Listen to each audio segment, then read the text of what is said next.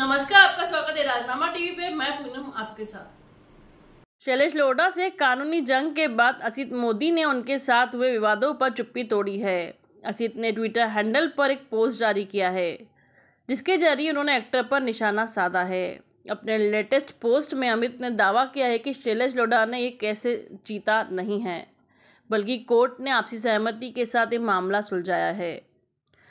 असित ने शैलेश को इस तरह की झूठी खबरें न फैलाने की हिदायत दी है और कहा है कि उन्हें झूठ नहीं बोलना चाहिए, कि वह केस जीत गए। प्रोड्यूसर ने सबूत के तौर पर कुछ डॉक्यूमेंट भी शेयर किए हैं, जिसमें असित और शैलेश के दस्तखत हैं। बीते दिनों शैलेश लोढ़ा ने दावा किया था कि शो के मेकर असित मोदी ने उनके साथ गलत किया था। मेकर्स के खिलाफ केस जीतने के बाद उन्हें ऐसा महसूस हो रहा है जैसे एक्टर ने कोई जंग जीती हो। ट्वीट में असित ने लिखा, शैलेश लोढ़ा को हाल ही में ख़त्म हुए कोर्ट केस के बारे में गलत जानकारी फैलाना बंद करना चाहिए।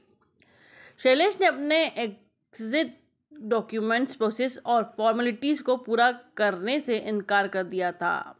उन्होंने एग्जिट पेपर्स पर साइन करने से भी मना कर दिया था।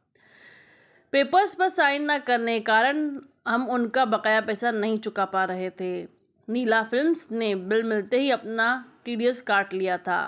साथ ही हमने उनका बकाया पैसा वापस करने के लिए डिमांड ड्राफ्ट भी तैयार कर लिया था, लेकिन उन्होंने मेकर्स से बात करने के बजाय कानूनी रास्ता चुना। इसी के साथ बने रहे राजनामा टीवी के साथ, धन्यवाद।